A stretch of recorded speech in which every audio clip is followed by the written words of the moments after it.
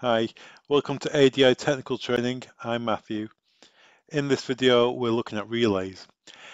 We're going to look at adding a relay to a door intercom. We're going to look at why you need a relay and the interface between a relay and an access control device, mainly the ACT10. In this video, I'm using the VHLR relay from CDVI I'm using the door intercom, the 901 or the VRK1 from Bell Systems, and I'm using the ACT10 standalone keypad. Let's look at a um, typical audio intercom. We're looking at a five-way intercom here. In particular, we're looking at the Bell intercom.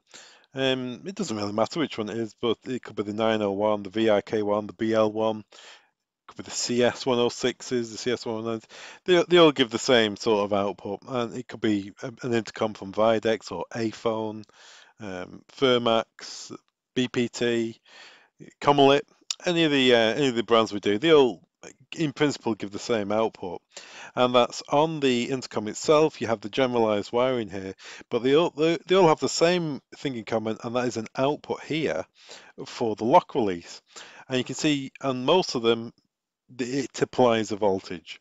So in previous videos, we've discussed that when you press this, uh, the lock button on your phone, it sends negative to the lock release and engages the lock release. So that's the problem. If you've got um, an intercom which is powered off AC and you have a keypad which is 12 to 24 volts DC, there's an incompatibility there, which we've, we've just spoke about. So that's where you would that's where the relay would come in. And simply on the relay, you have the terminals, coil, pos neg, input, whichever relay you're using. In our case on the VHLR, it just says um, voltage, 12 volts DC, uh, 12 volts input, sorry. And that's where these two wires will come in here, because when you have when you make these connections here, this one goes straight to positive, and uh, as I've just said there, this one applies negative. So let's look at the VHLR. It's a bit difficult to bring a drawing up, a technical drawing up for it. So let's use one on our website. So on our website, you have your inputs, as I've just spoke about, positive and negative. And you can see there, it's not polarity sensors, it's positive or negative, positive or negative. And with this VHLR, it's 12 to 20 foot, uh, 12 to 28 volts, AC or DC. So brilliant for applications on intercoms, which are mainly 12 volts DC. You can use it on fire alarm systems, which would be 24 volts DC. You can use it on CCTV systems, which are 24 volts AC. So you have many um, input voltages there to work with within our industry. Um, it is a double pole, so it's two pole. So that means this relay here has two outputs, two separate outputs.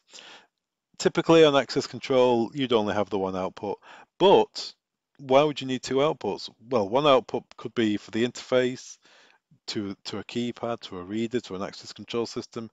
The other might be to a buzzer. So you get you have a reassurance tone or maybe an LED. Um, so you have a reassurance tone and some sort of illumination to say the lock is unlocked. So that's why you'd have a double pole relay there.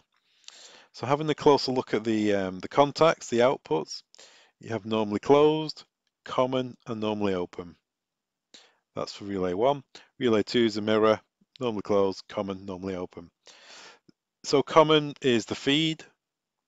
That's what you would feed into it. Normally closed, it's a normally closed circuit. The circuit's always closed. So if you put common into there, if you put a feed into there, without ha having any input here, if you put a feed into there, it will come out of normally closed. So if you're directly connecting to a magnet, for instance, which needs constant power to work, you would feed your positive or your negative into common, come out of normally closed. So normally the relay is closed. When you apply power to it, that relay will go open. It will break the circuit, but, so it will unlock the magnet. If on the other hand, you're going to tell a keypad to unlock or a reader a proximity reader or some sort of standalone device, or even a network controller, and uh, Net 2 or Vanderbilt, um, ACT um, 1520, uh, the microguards from TDSI, a WIN-PAK MPA controller, whichever. If you go to the exit button input, those inputs are open, going closed. So the circuit's always open, and when you close the circuit, that makes the um, exit timer start. So if you were to do that, you would have a circuit which is normally open, and oh, the circuit's normally open. So you'd feed your signal, your negative or positive, into common, and then you would come back out of normally open. So say we look at our most popular example, which is the ACT10. On the wiring for the ACT10, the push button is 0 and PB. That's two wires, 0 and PB. If you short together 0 and PB, it will unlock the keypad on the exit timer. So those are your two wires, 0, which will go into common because that's a feed. PB is the push button, and that goes into normally open. So when you apply power to the relay through the input here, it will close this circuit here, common and normally open. It will close that circuit and in turn tell the keypad to, to unlock. As I've mentioned the ACT10 keypad, let's stick with that um, as our, our guide. The, um, the ACT10 keypad combined with the VRK1 is our most popular integration. We get the most phone calls about that in tech support. In some cases, their clients have got a, an ACT10 already installed and uh, we're going to add an intercom to that. In other cases, it's vice versa. The intercom's already on the wall and they're going to add uh, an ACT10 to that. And in some cases, it's just a new installation where they've got an, they're going to have an ACT10 with a VRK1 or a 901 or a BL1, and they want them to work together. So how do we do we go about doing that? So we've already covered on the wiring diagram for the VRK1, we've covered that it's the lock output to the coil of the relay, but how do we integrate that to work with the ACT10, for instance? So here we have the um, typical layout of an ACT10. Power coming in, outputs for your locking devices, sounds as if you're having them, um, door contacts, tamper input for the alarm, tamper output for the alarm, sorry, and finally exit button. So this is the um, the button that you press that tells this relay to unlock this door. So when you press that, it makes a circuit. It's normally open input, and that will tell the lock to unlock, whether it's a lock release, a mag lock, it could be a gate controller, anything really that needs to be code controlled.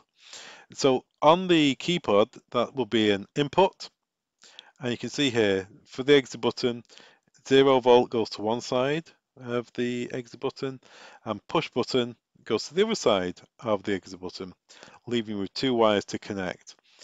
On your um, relay, this will be an open circuit. So one side will be fed, zero volts, that will be fed into common of the relay and it will come back out of normally open and that will go to the push button input of this keypad.